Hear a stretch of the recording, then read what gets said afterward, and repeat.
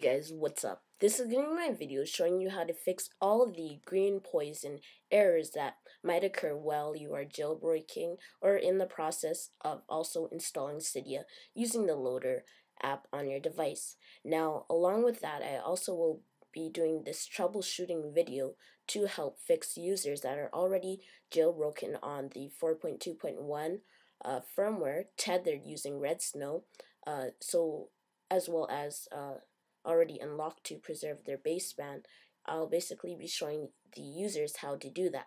So basically what you'll do is open up Greenpois0n. Now once you open up Greenpois0n, you'll simply hit jailbreak and follow the same steps as if you were jailbreaking. Now this basically will run Greenpois0n over your already jailbroken device and untether uh, your device. So then you don't have to install Cydia from the Loader app since you already do have Cydia and it basically will untether your tethered device or already jailbroken device using Greenpois0n uh, just from uh, jailbreaking using Greenpois0n. Now the next step would be when you are jailbroken with Greenpois0n and then you use the Loader app and it is not working to install Cydia. When you Install Cydia on your 4.2.1 untethered jailbroken device using Greenpois0n.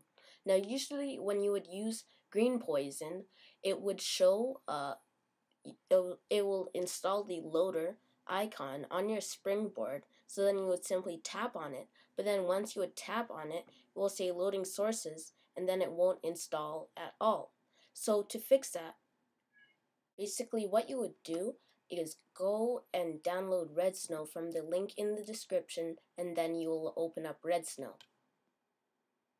So now once you open up Redsn0w, what you'll do is go into browse and then you'll browse for the uh, firmware 4.2.1 firmware file for your device. Okay. Now after that what you'll do is uh, let it process the firmware as if you were actually jailbreaking and then it will say IPSW successfully identified. Now it will prepare the jailbreak data and then it should be finished. Now after that, what it will say is it will say please select your options. Custom logos are not yet available for this device. So then all you'll do is simply check install Cydia. Now after that, you'll make sure your device is both off and plugged in to uh, the computer. So then you'll simply uh, slide to power off your device and then make sure your device is plugged into your computer. Now once it is both off and plugged in, you'll proceed to the next step.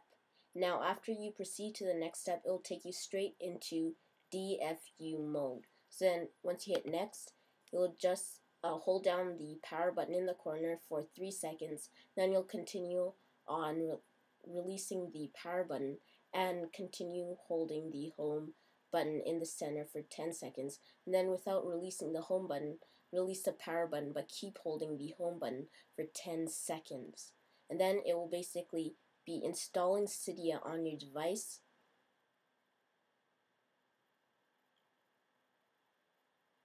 Now, your device will basically reboot after this, and you should see Cydia installed on your device.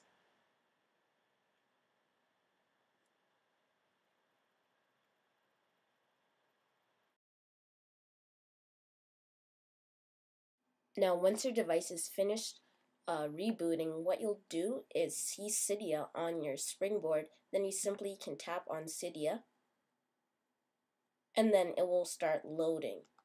So that's all you have to do in order to install Cydia on your device. It's a very simple process and thank you for watching this video. Please be sure to like this video and leave a comment below. Please subscribe and thanks for watching.